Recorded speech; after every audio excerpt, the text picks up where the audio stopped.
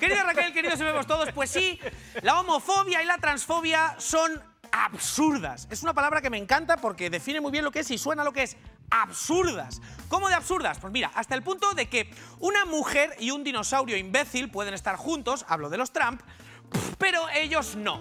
Ellos no. A ver, yo no entiendo, pero esto sí que no lo entiendo, ¿vale? A mí la, homofobia me parece como de otra época, no sé si os pasa, pero yo creo que la gente de mi generación nos hemos criado con, eh, estímulos que hacen que no nos resulte extraño que haya gente del mismo género, pues queriéndose, eh, bueno, haciéndose cosas.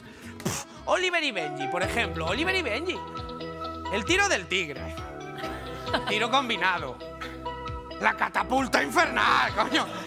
Eso no era fútbol solo, ¿vale? ¡Epi y Blas! A ver, está claro que en algún momento las camas las juntaban. Digo que fuera fuera de cámara, ¿vale? Fuera de cámara. Que también estaba claro que estaban hasta las pelotillas el uno del otro y estaba claro que si Epi encontraba un plátano más joven, se iba a ir con él, ¿vale? Otro referente, Faemino y Cansado. Ahí, ahí, Arroyito y Pozolón se enrollaban mucho, hablando, y sin hablar ni te cuento, claro. Es más, si algo aprendimos con los cazafantasmas es que la única manera de verdad de vencer a un fantasma grande era cruzando los arietes, todos ahí en medio, claro que sí. La homofobia, como casi todos los miedos, es absurda e infundada. El miedo a la, homosexualidad, el miedo a lo homosexual, ¿miedo a qué? ¿A que un gay enorme invada tu ciudad y la destroce con su pene homosexual? Y hagan una peli que se llame Maricón, no entiendo. ¿Miedo a qué? No sé, ¿Miedo a qué a los homosexuales? ¿Miedo a qué? ¿Miedo a que de repente un homosexual se sienta atraído por ti? ¿Pero quién se va a sentir atraído por ti, hombre? Tú te has visto si lo más probable es que se cambien de acera al verte. Y no es metáfora, es que digan, eso huele a cerrado y se vayan a otro lado. ¿Miedo a qué? A, que la homosexualidad descoloque tus tradiciones.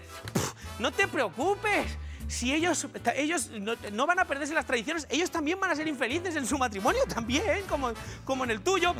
Hoy es el día en el que el colectivo LGTBI lucha contra la homofobia, contra la bifobia, contra la transfobia, o sea, contra lo absurdo.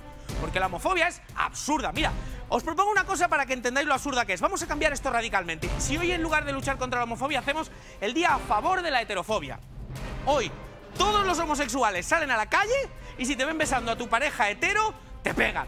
Pero así, yo voy paseando hoy con mi mujer por la calle y viene Paco Clavel con 15 amigos de Mario Vaquerizo y me dan una paliza. Porque sí, es más, las siglas LGTBI hoy no son lesbianas, gays, transexuales, bisexuales e intersexuales. Son los gays te buscan, imbécil.